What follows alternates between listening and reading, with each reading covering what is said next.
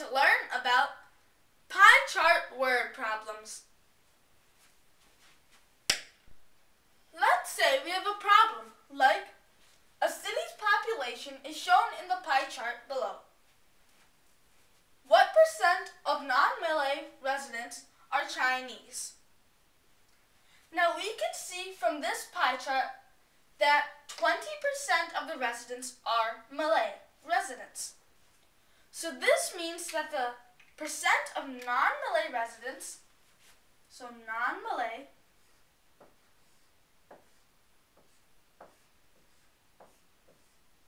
non-Malay residents are equal to 100 minus 20% because the Malay residents are 20%, which is equal to 80%.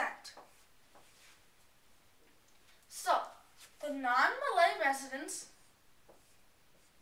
NM, N for non, and M for Malay, is equal to 80%. Now, in this problem, we are supposed to find what percent of the non-Malay residents are Chinese.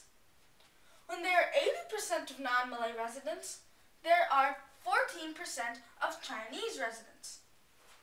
So, let's label this column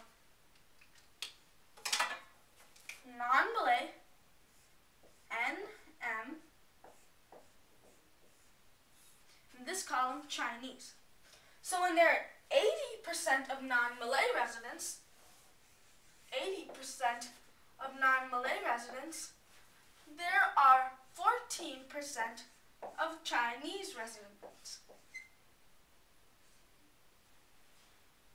When there are 100% of non-Malay residents, then how many or what percent of Chinese residents are there? We do this because we know that percent always means out of 100. To solve this part of the problem, we have to use cross multiplication. That means we multiply 80% with question mark and 100% with 14%. So we get 80 question mark, let's write this a little bit on the left, So we get 80 question mark is equal to 14 times 100 percent. So, question mark is equal to 14 times 100, 14 times 100 divided by 80, or over 80. 80 and 100 are both divisible by 20. 80 divided by 20 is 4, and 100 divided by 20 is 5. 14 and 4 are both divisible by 2. 14 divided by 2 is 7, and 4 divided by 2 is 2. So we get 7 times 5 is 35 over 2,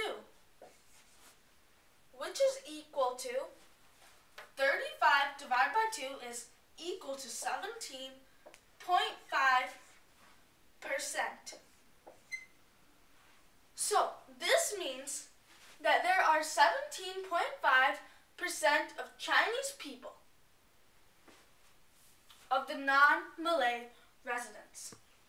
So the answer to this problem is 17.5%.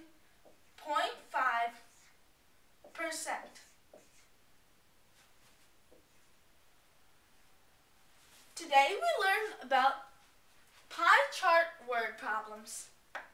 Thank you for watching this video.